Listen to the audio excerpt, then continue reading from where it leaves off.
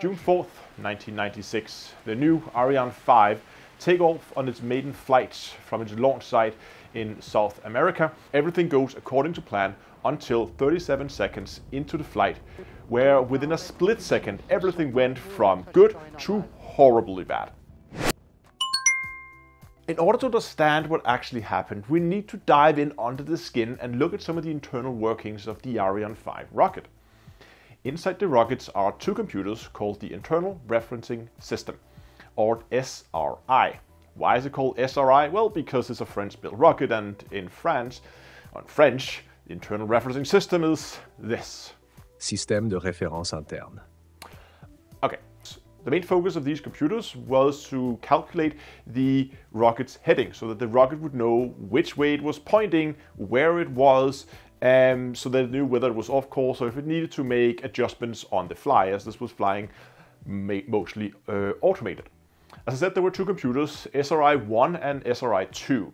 On this particular flight, flight 501, SRI-2 was active. That means that was the one doing all the calculations. That was the one that were being used for maintaining and controlling the rocket.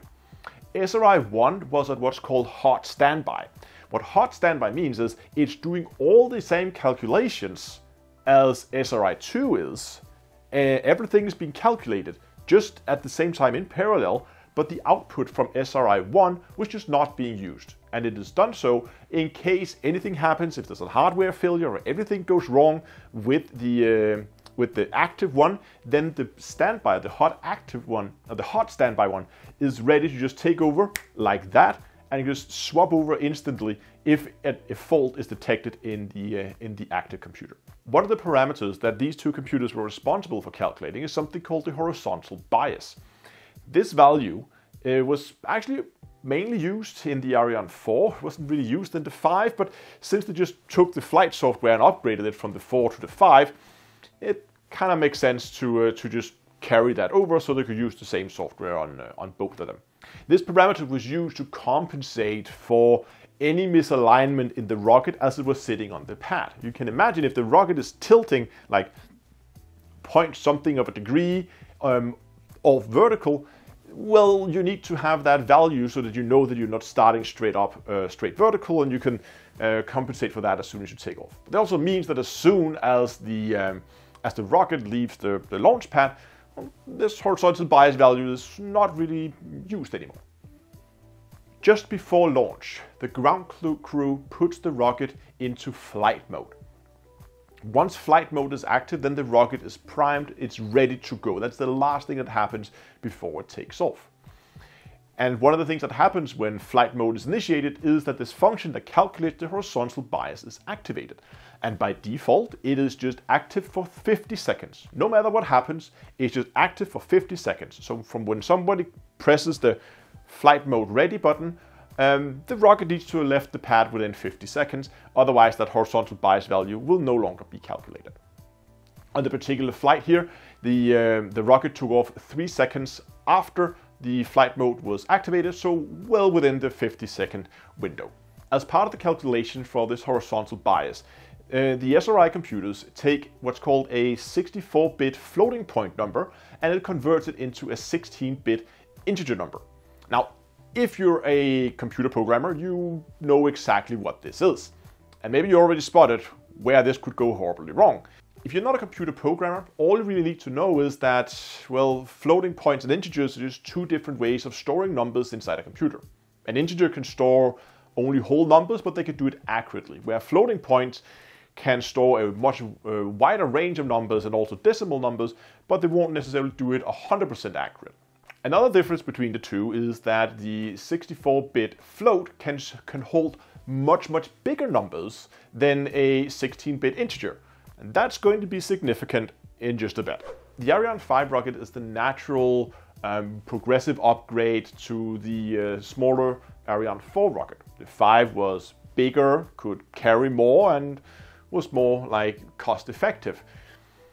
This also meant that it was taking a slightly different path as it were going into orbit, where the 4 would take a relatively uh, steep, going relatively straight up, course going banking over as, as we get higher up.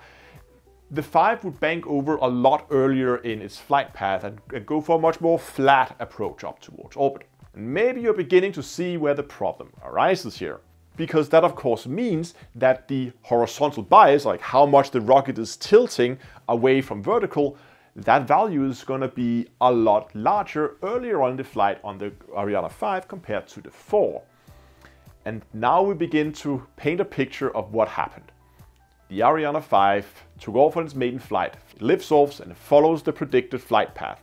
But because it tilts over so more drastically than the Ariane 4 is, and this is by design, remember, that horizontal bias value that was still being calculated reached much higher number and when this converting from the big floating points down to the smaller 16-bit integer, when the value of the horizontal bias got too big to be stored inside that 16-bit integer, you get something called an operand error or an overflow error, where you're trying to take a number that's too big, but you allocated too little memory to store that number. And the computer in this case just went, I don't know what to do, and shut down.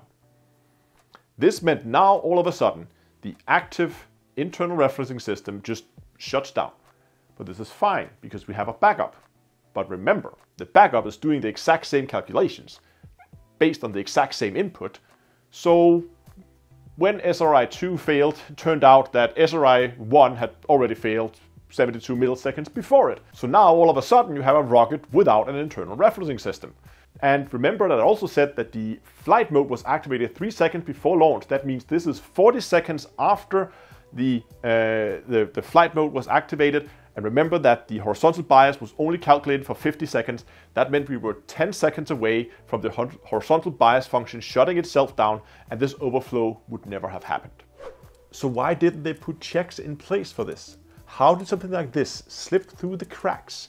I mean, this is one of the biggest rocket manufacturers, and every programmer knows that when you're writing critical code like this, you check and you handle every single input to make sure that they are correct and that everything behaves the way that you expect them to before you begin to do any kind of um, uh, of, of alterations of them. The thing is, they did actually put checks in place, but they were also constrained because they were asked to keep the SRI computers at a load limit of 80%.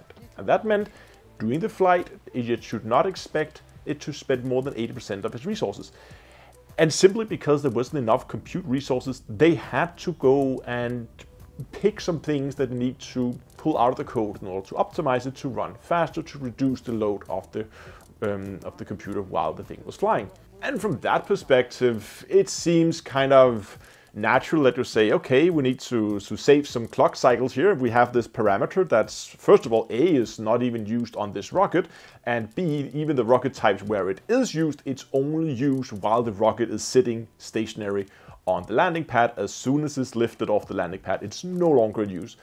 It seems like a natural choice to remove some uh, some constraints and some uh, and some some some checks uh, around this parameter, and that was what they did.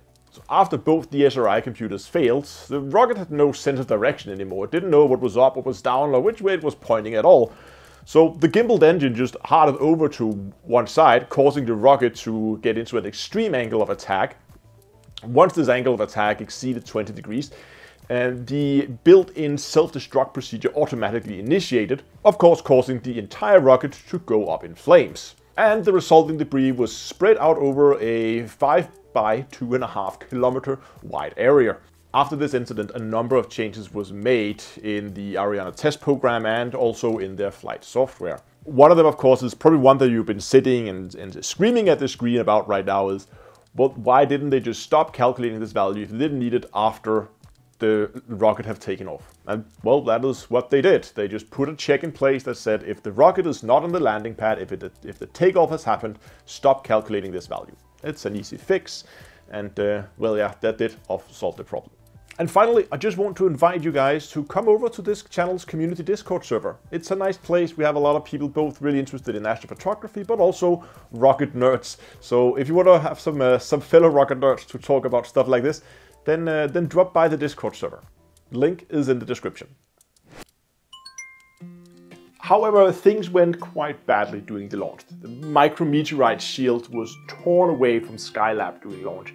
So in 1980, the Soviets started their own space shuttle program called Buran, and it was intended to be a nuclear deterrent.